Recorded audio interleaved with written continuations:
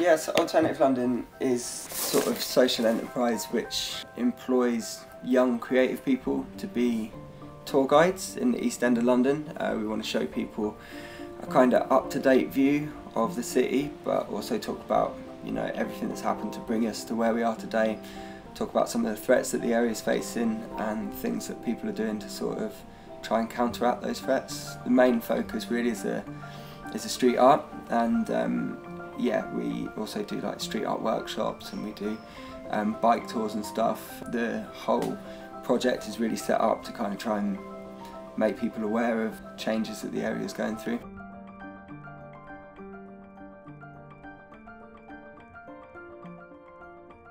everything over the last sort of three or four hundred years historically that's brought it to this point. It was an ex-industrial area, so there's a lot of um, abandoned old buildings that artists started moving into. Um, they weren't exactly beautiful, so artists wanted to put their own stamp on them. No one cared about them back then.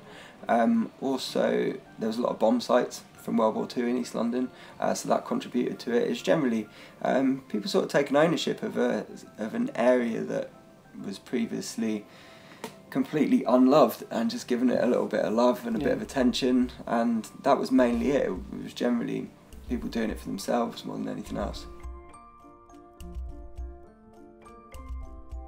There's generally like the traditional graffiti style stuff, um, the letter-based art form, the tagging, then there's a lot of um, the more sort of image-based stuff, stencil work, um, people using different materials. Um, so that yeah, there's a huge array of materials, a huge array of different kinds of artwork. But what we're seeing now, as well as um, a lot more different approaches towards the street art, there are still people out there that are trying to use it as a platform to voice their messages, their opinions, um, political statements. With, with the mainstream um, factor moving into it, it's actually really interesting because there are sort of certain organisations now that are running these sort of organised walls projects where it's completely taken out the organic element of it.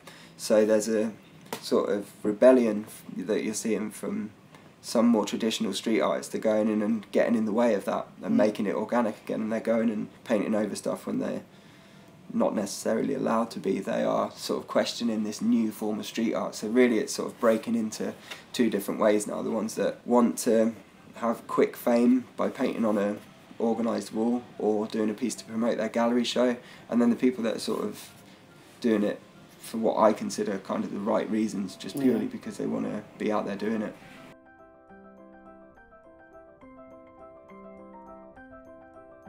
Some of it is vandalism, but so is knocking down perfectly good buildings and building huge ugly tower blocks as well. That's also vandalism. Vandalism can come in many different forms, putting up a huge advertising banner that looks really, really ugly that you can't look away from. That's vandalism.